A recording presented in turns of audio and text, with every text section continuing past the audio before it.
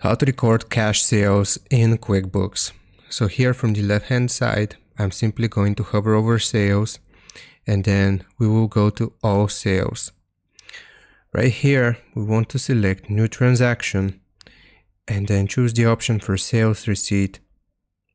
It will load up a new page like so, from which we have to select our customer and their email address right here. Now the billing address will be input right here in this tab. And the important part is this one, payment method. We want to click on the down arrow and we want to select cash. We can add a reference number and we can deposit this to bank or our different account here.